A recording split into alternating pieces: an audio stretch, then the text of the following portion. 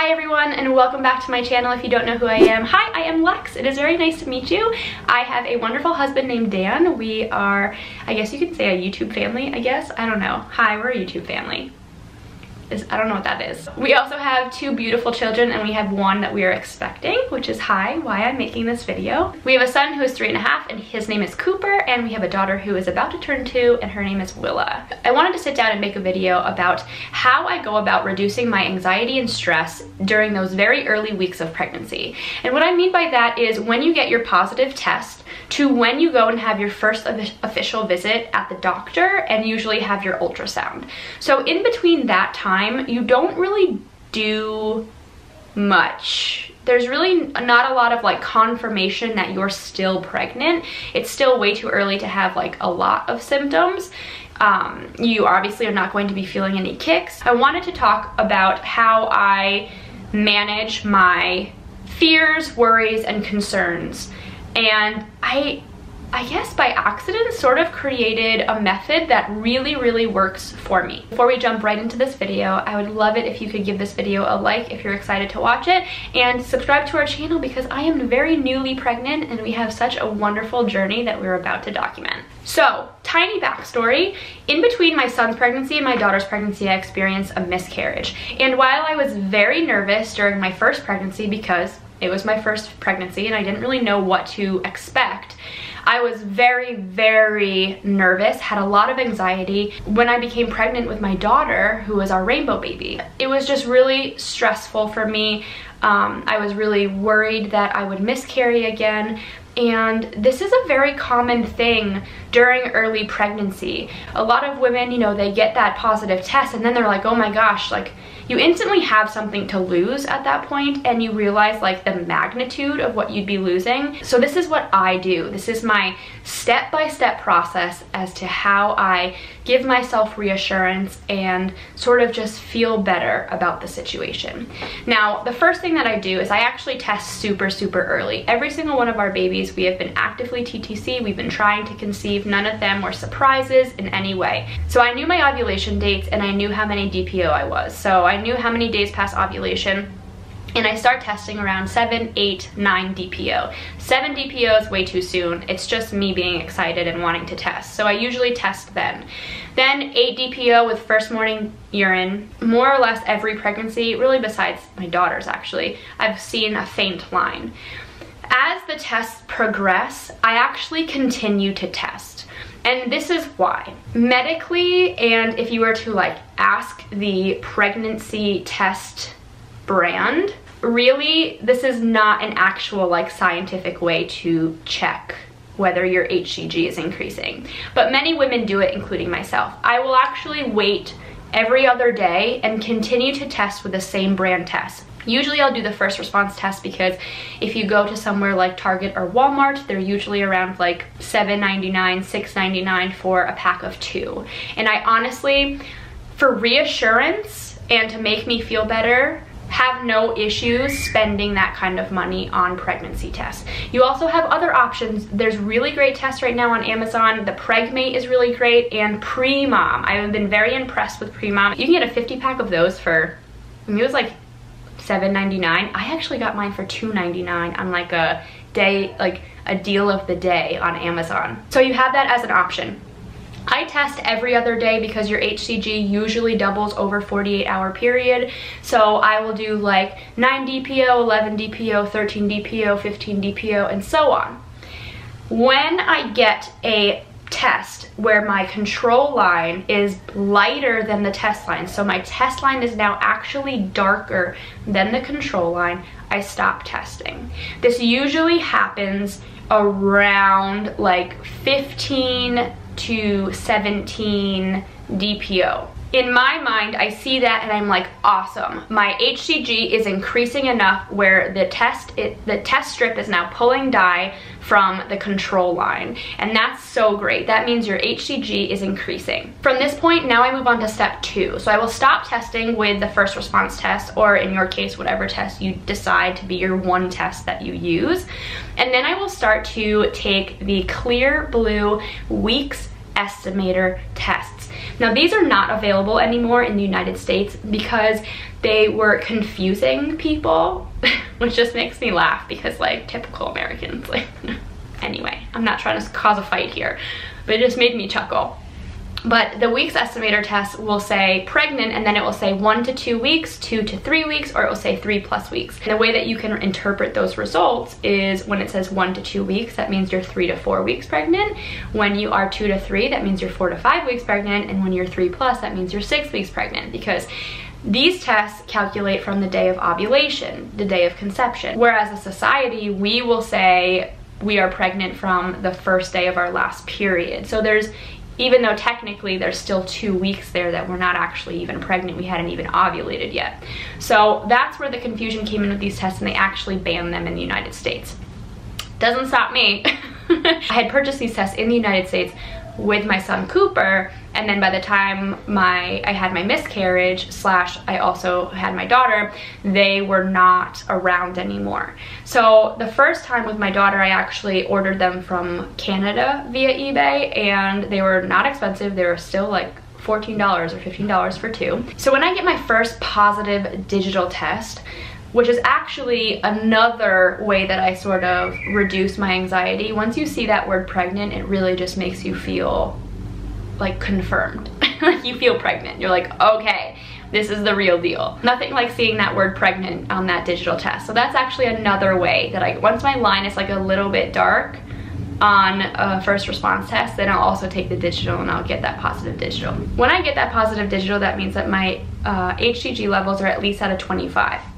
Then in whatever calendar I'm using or whatever pregnancy app I'm using, I will then go every other day and I will double that number. So, okay, so let's say I get it, you know, on a Wednesday, I get a positive digital. On a Friday, that means instead of my HCG level being 25, that means it's now 50. And then two days later it becomes 100, two days later it becomes 200, two days later it becomes 400, two days later it becomes 800, and I, and I go on and on and on. So I take those numbers and I look at the clear blue information that I have, those parameters or whatever they're called. I say, okay, well around this time, I'm definitely going to be at least over this number where it says that I'll get a, a two to three weeks.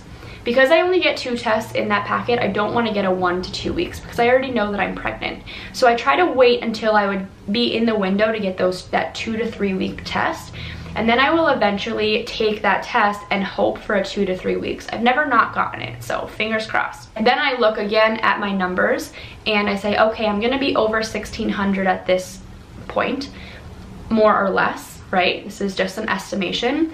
Let me go ahead and take that last clear blue test. I take that last clear blue test, it says three plus weeks. I know that my HCG is increasing. A lot of you are probably like, why don't you just go to the doctor and just get a blood test? Well, a lot of people don't want to go to the doctor unless it's an emergency or they absolutely have to and a lot of people don't want to pay you know whatever copay they might have to pay just to go and get those and the blood work just to get the blood work done some people um, you know have a lot of children, it's really difficult for them to like get into the, the doctor's office and they're not gonna do it unless there's something that's actually wrong. Here's sort of like a more, it's a less reliable, but it's a more affordable way of just trying to keep track of things and reduce your anxiety during this time.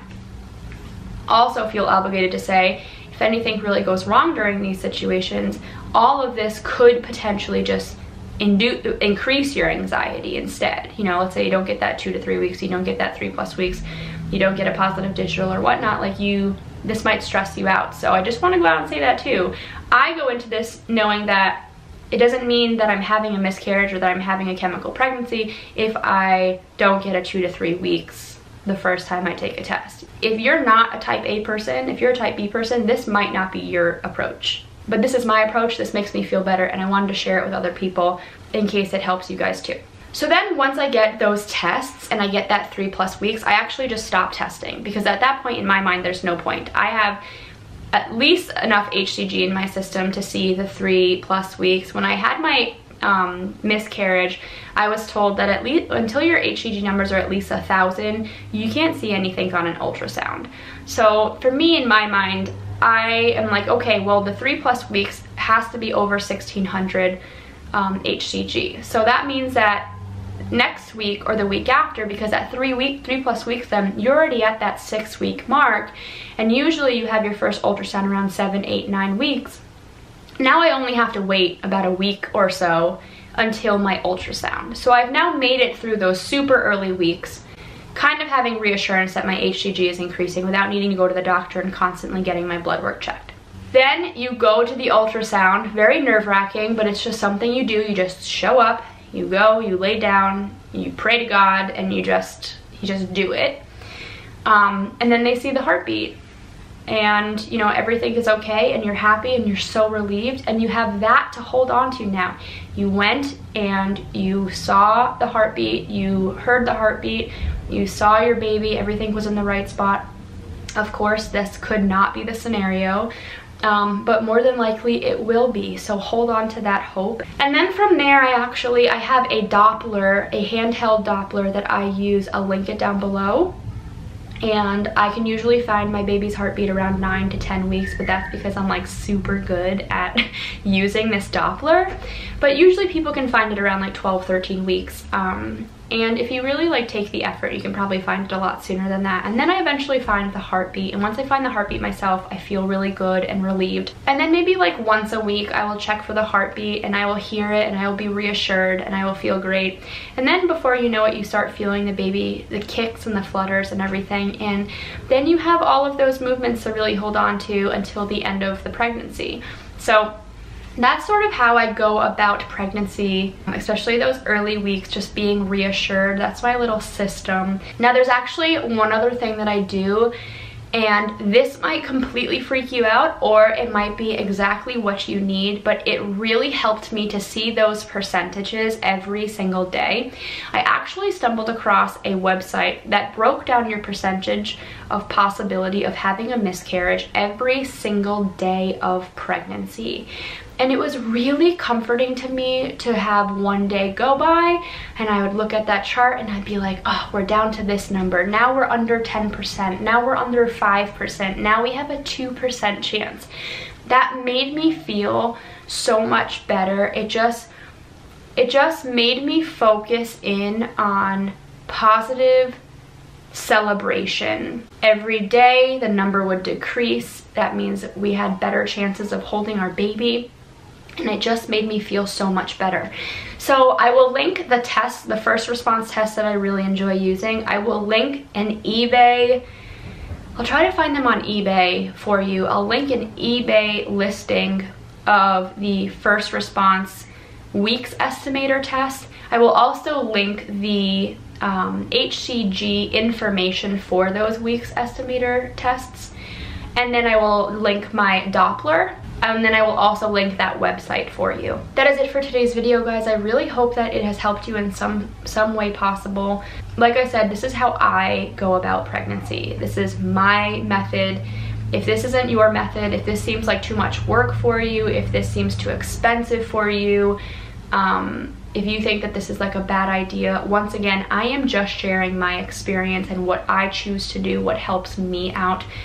I am definitely going to differ than other people. So um, if this isn't for you, that's totally okay. You can just move right on to the next video. But I wanted to get this out there because I think it might help some people. If you guys are new to our channel, like I said before, we'd love to have you come hang out with us. We're about to embark on I love having babies. I love it. I love being pregnant. I love having children. I just love everything about it. I love them so much. The squishy little newborns and then they turn into little demanding toddlers. My children like demand me for food like 24 7. Like my daughter will just be like, apple. Motherhood is probably one of the most incredible things. If you are newly pregnant with your first, congratulations guys. I mean, congratulations to everyone, but congratulations guys. You are in, you are in our little group of mommies. You're gonna have the most incredible, incredible experience. It's gonna be hard times, but it's gonna be amazing. So anyway, thank you guys so much for watching this video. As always, love you. See you in the next one. Bye.